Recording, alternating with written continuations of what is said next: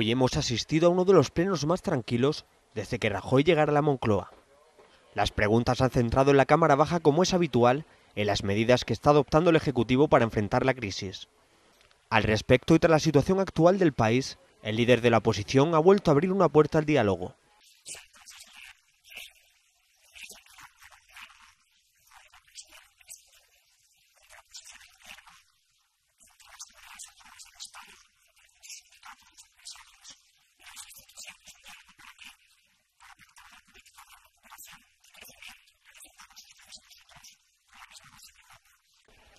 Que el presidente ha aceptado, eso sí, reprochando el no socialista a la ley de estabilidad.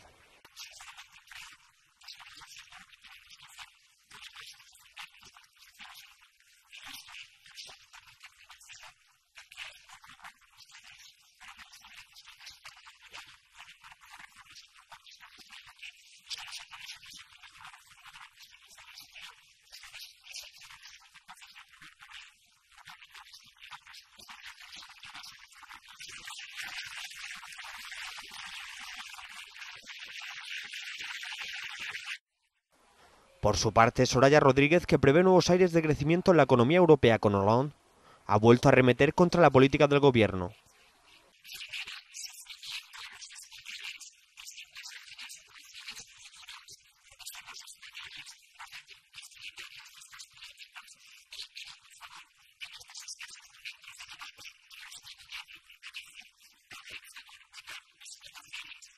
Mientras que la vicepresidenta ha recurrido a la Real Academia de la Lengua para darle la réplica.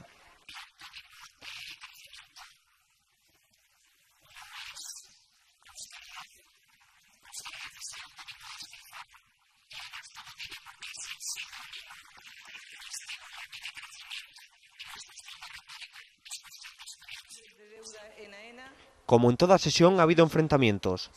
Muchas gracias por su pregunta. Solamente decirle que claro que estamos trabajando por tener un sistema de transporte que sea eficiente, de calidad y que no esté endeudado hasta las cejas como lo han dejado ustedes.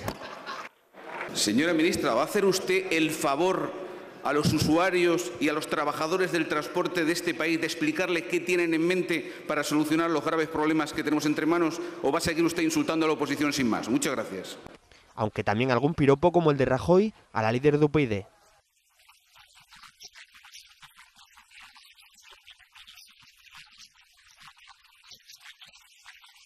Las medidas que están deteriorando los derechos sociales y las condiciones de vida de los ciudadanos han sido el motor del debate, junto a la prima de riesgo que ya rebasa los 500 puntos.